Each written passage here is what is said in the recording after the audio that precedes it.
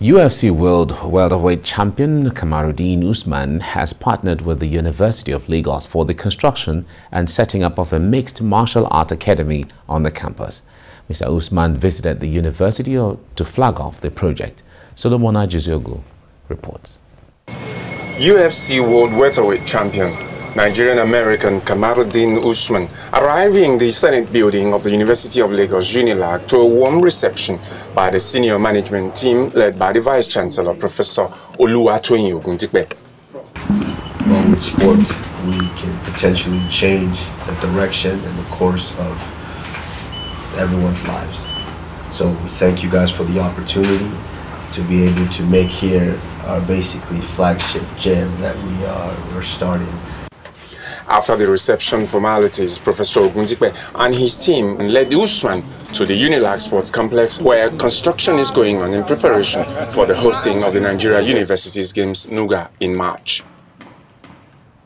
The coach that will be involved concerning the sports and also um, give our students the encouragement and this will be the first time in Nigeria that we are going to have this type of sporting activity in any university. In the city. And here, Usman turns the aside for the work on the high performance facility, which will see the setting up of a mixed martial arts academy to promote the combat sport in the country. University of Lagos remains the university of first choice and the nation's pride, and we always bring the best uh, to the university, attract the best to the university, so that um, we'll be able to encourage our students to know that they can be the best.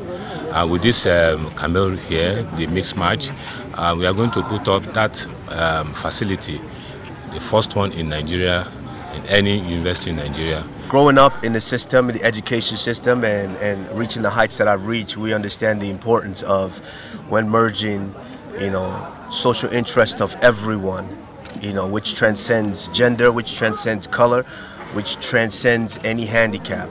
Merging that with education is a recipe for success. And merging with one of the biggest and, as you say, the best university in uh, in the world, um, it's, uh, it's it's our pleasure. The academy will be accessible to students and youths around the campus to help them combine education and sport. Nicknamed the Nigerian Nightmare, the UFC fighter Kamaru Usman is helping to promote the sport in Nigeria, which has brought him fame, glory, and fortune. Salomon Ajiziogu, TVC News, Lagos.